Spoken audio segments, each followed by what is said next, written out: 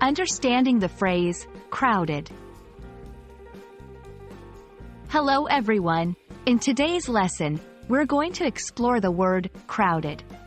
By the end of this video, you'll not only know its meaning, but you'll also be able to use it confidently in your daily conversations.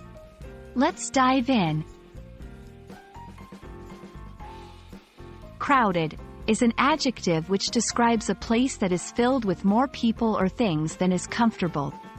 Imagine being in a room where it's difficult to move because there are too many people. That's a crowded room.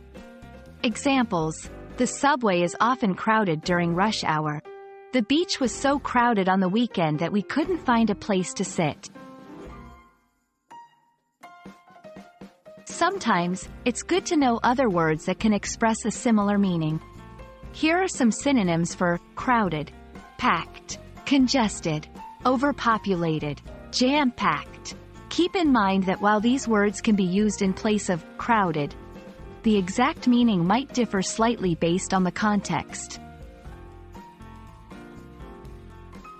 To truly grasp any word, it's important to see it in action. Let's go over some example sentences. The concert was so crowded that we stood at the back. Many big cities have crowded streets and bustling markets. The elevator was too crowded, so I decided to take the stairs. Try forming your own sentences with the word crowded to reinforce your understanding. Understanding antonyms, or opposites, can also help clarify a word's meaning.